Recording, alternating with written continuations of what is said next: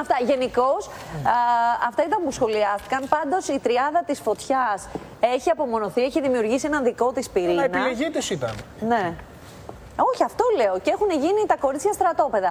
Αλλά και οι άλλες έχουν ξυπνήσει. Τελικά γι' αυτό δηλαδή... δεν πάνε φαντάρι.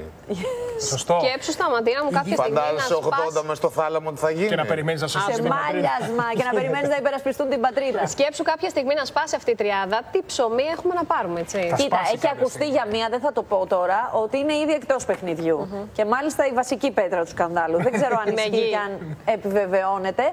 Αλλά η αλήθεια είναι ότι χθες το επεισόδιο ήταν λίγο πιο flat. Δηλαδή η δοκιμασία τι εννοώ, δεν είχε αυτό το, το, την ίδρυγα, το extreme, το τόσο κεντρικό που μπορεί κάποιο Δεν είχε αυτό το φοβερό που σε αναγκάζουν να μπεις σε μια πισίνα με νερό που σου έρχεται μέχρι εδώ. Ναι, γελάτε με στη Δημήτρη, αλλά είναι 20 χρονών κορίτσια και οι μισές δεν ξέραν κολύμπι. Αυτό, αυτό να σου λέει κάτι.